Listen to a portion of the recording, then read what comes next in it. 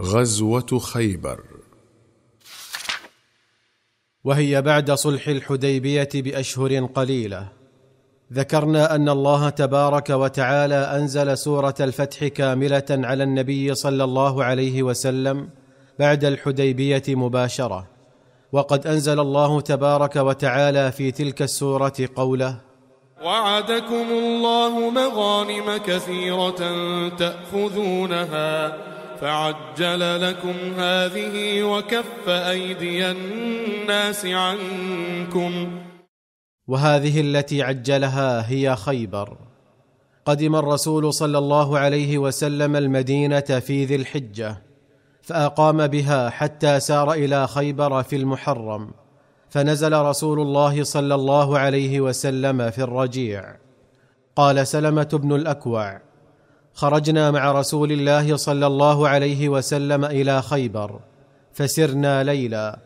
فقال رجل من القوم لعامر بن الأكوع ألا تسمعنا من هنيهاتك؟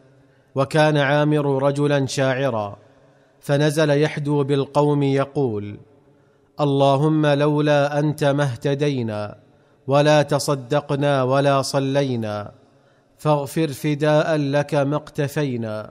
وثبت الأقدام ان لاقينا وأنزلا سكينة علينا إنا إذا صيح بنا أتينا وبالصياح يعولوا علينا وإن أرادوا فتنة أبينا.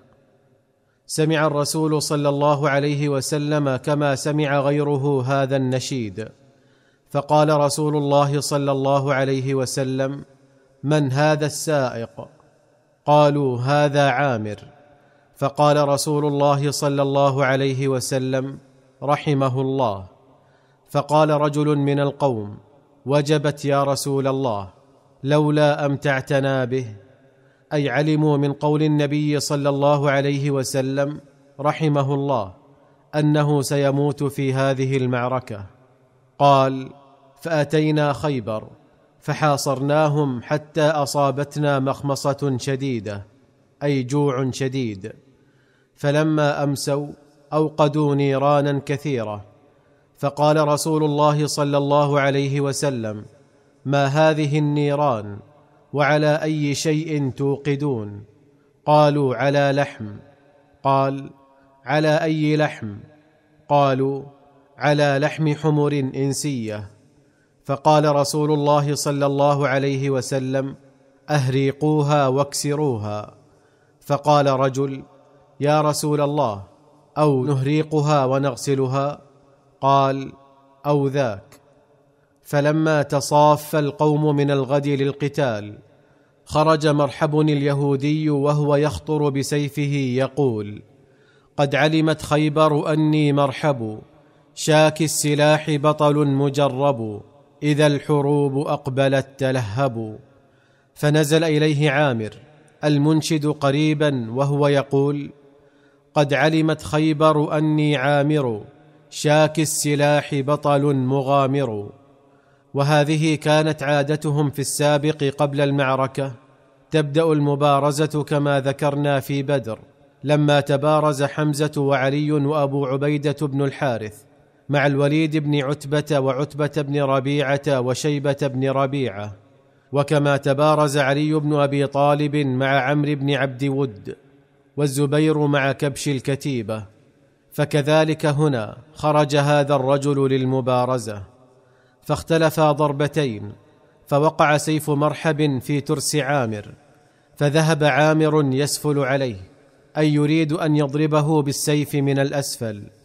وكان سيف عامر فيه قصر فرجع عليه ذباب سيفه فأصاب عين ركبته فمات منه.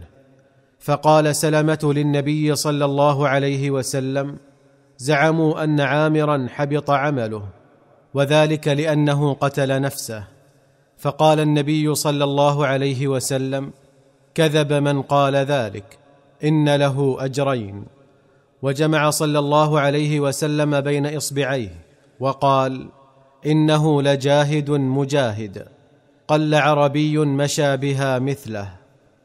وكان النبي صلى الله عليه وسلم لما قدم صلى بها الصبح وركب المسلمون فخرج أهل خيبر بمساحيهم ومكاتلهم أي أدوات الزراعة لا يشعرون بمجيء النبي صلى الله عليه وسلم وأصحابه إليهم. فلما رأوا الجيش قالوا محمد والله محمد والخميس. ثم رجعوا هاربين إلى حصونهم. فقال النبي صلى الله عليه وسلم الله أكبر خربت خيبر. الله أكبر خربت خيبر. إنا إذا نزلنا بساحة قوم فساء صباح المنذرين. فلما دنا النبي صلى الله عليه وسلم وأشرف على خيبر قال قفوا. فوقف الجيش. ثم قال اللهم رب السماوات السبع وما أضللن ورب الأرضين السبع وما أقللن ورب الشياطين وما أضللن. فإنا نسألك خير هذه القرية وخير أهلها وخير ما فيها. ونعوذ بك من شر هذه القرية وشر أهلها وشر ما فيها. أقدموا بسم الله. ولما كانت ليلة دخول خيبر وبعد مقتل عامر بن الأكوع قال رسول الله صلى الله عليه وسلم لأعطين الراية غدا رجلا يحب الله ورسوله ويحبه الله ورسوله يفتح الله على يديه فباتوا يدوكون أيهم يعطاها أي يتكلمون في هذا الأمر كل واحد يتمنى أن يكون هو ذاك الرجل. فلما أصبح الناس غدوا على رسول الله صلى الله عليه وسلم كلهم يرجو أن يعطاها. فقال صلى الله عليه وسلم أين علي بن أبي طالب؟ فقالوا يا رسول الله هو يشتكي عينيه. قال فأرسلوا إليه فأتي به. فبصق رسول الله صلى الله عليه وسلم في عينيه ودعا له فبرئ حتى كأن لم يكن به وجع فأعطاه الراية. فقال علي بن أبي طالب أقاتلهم حتى يكونوا مثلنا. قال انفذ على رسلك حتى تنزل بساحتهم ثم ادعهم إلى الإسلام وأخبرهم بما يجب عليهم من حق الله فيه. فوالله لأن يهدي الله بك رجلا واحدا خير من أن يكون لك حمر النعم. فخرج مرحب وهو يقول أي كعادته لما خرج في المرة الأولى قد علمت خيبر أني مرحب. شاك السلاح بطل مجرب إذا الحروب أقبلت تلهب. فبرز إليه علي وهو يقول أنا الذي سمتني أمي حيدره كليث غابات كريه المنظره أوفيهم بالصاع كيل السندره فضرب مرحبا ففلق هامته ثم كان الفتح. وجاء في حديث جابر بن عبد الله رضي الله عنهما أن محمد بن مسلمة هو الذي قتل مرحبا. قال جابر في حديثه خرج مرحب اليهودي من حصن خيبر. قد جمع سلاحه وهو يرتجز ويقول من يبارز؟ فقال رسول الله صلى الله عليه وسلم من لهذا؟ فقال محمد بن مسلمة أنا له يا رسول الله. أنا والله الموتور الثائر. قتلوا أخي بالأمس.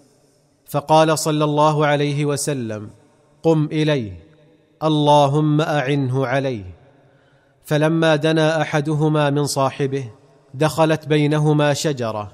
أي صار كل واحد خلف هذه الشجرة.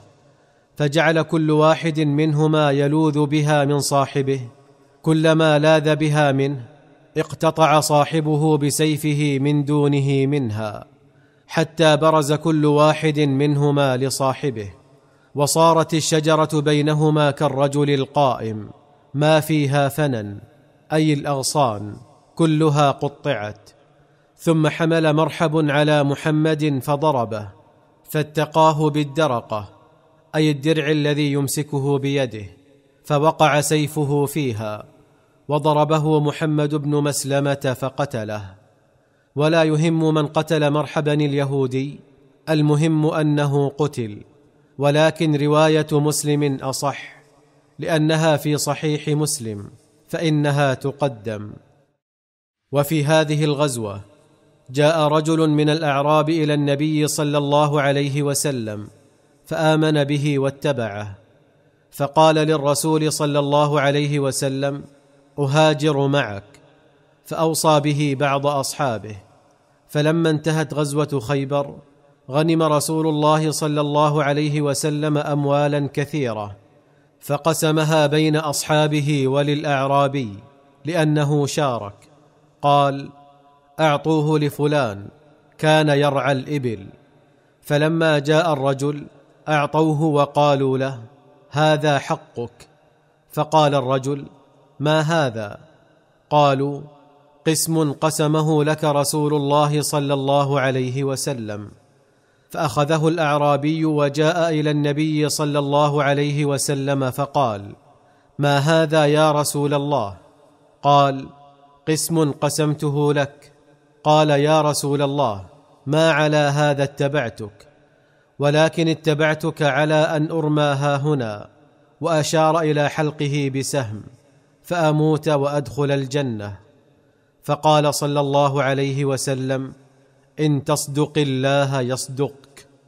ثم نهض صلى الله عليه وسلم إلى قتال العدو.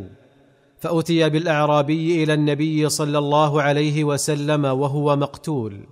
فقال صلى الله عليه وسلم اهو هو قالوا نعم يا رسول الله. قال صدق الله فصدقه.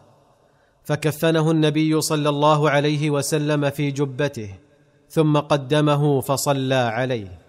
وكان من دعائه صلى الله عليه وسلم أنه قال اللهم هذا عبدك خرج مهاجرا في سبيلك قتل شهيدا وأنا عليه شهيد. فهذه شهادة عظيمة من نبي عظيم صلى الله عليه وسلم.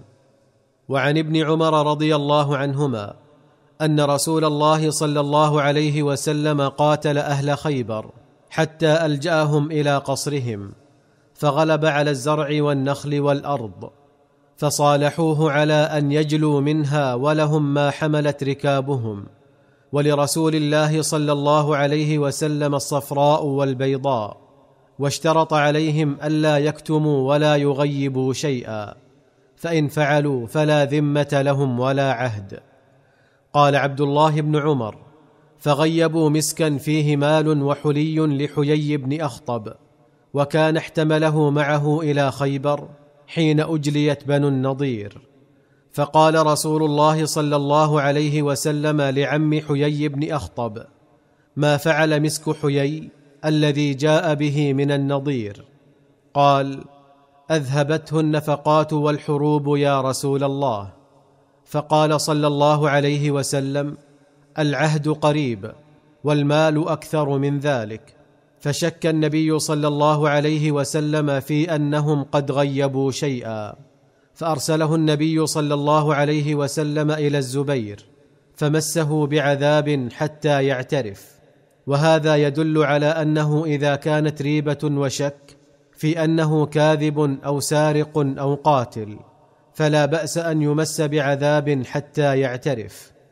فمسه بعذاب فقال إنه كان قبل ذلك قد دخل خريبة.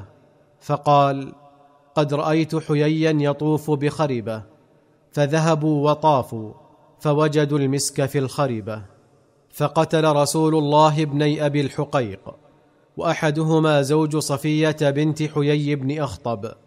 وسبى الرسول صلى الله عليه وسلم نساءهم وذراريهم وقسم أموالهم بالنكث الذي نكثوا لأنهم نكثوا العهد وأراد أن يجليهم منها. فقالوا يا محمد دعنا نكون في هذه الأرض نصلحها ونقوم عليها فنحن أعلم بها منكم. ولم يكن لرسول الله صلى الله عليه وسلم ولا لأصحابه غلمان يقومون عليها فأعطاهم خيبر على أن لهم الشطر من كل زرع ومن كل ثمر ما بدا لرسول الله أن يقرهم على ذلك. وأخذ النبي صلى الله عليه وسلم في هذه الغزوة صفية بنت حيي بن أخطب سبيا ثم أعتقها وتزوجها. وجعل عتقها مهرها فصارت من أمهات المؤمنين.